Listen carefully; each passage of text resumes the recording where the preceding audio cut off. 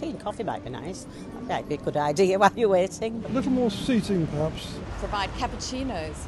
A water fountain or something like that be really good. Comfortable seating, tea and coffee would be nice. Have the business counter open longer. Maybe more seating areas in the bank, yeah. Parking. Possibly car parking. Shorter queuing times, uh, particularly in the lunchtime period.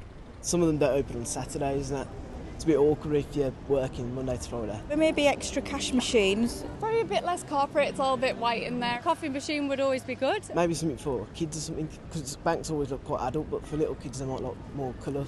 Better signage um, would be massively useful. Coffee, maybe tea, maybe, you know, uh, water. Being a Premier Bank customer, it is a bit I suppose it's a bit embarrassing when there's a queue there and you walk up to the front and there's a sort of perception that you're jumping the queue.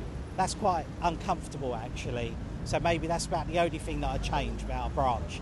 That if they are going to do Premier Banking customers, not to make us feel bad about us going and doing a bit of queue jumping. I suppose they could serve coffee and biscuits. Oh, well, they do charity days and they do all Yeah, that, yeah, don't they do charity Yeah, they days. Free Wi-Fi might be cool. Yeah, um, we've got BBC News 24 on in the background of our branch, I think now. So um, it's definitely lightened up recently. If they offered free Wi-Fi, I mean, you could go in, you could access your account online on your phone or whatever on a on a, a tablet, and it would just be easier and quicker. Might be good to have some nice art on the wall, or get involved with local colleges or whatever, and have a little section for community stuff.